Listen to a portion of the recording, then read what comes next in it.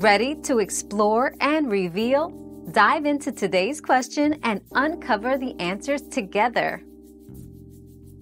After your water breaks, attempting to naturally induce labor is not recommended due to the risk of infection. Instead, contact your healthcare provider immediately.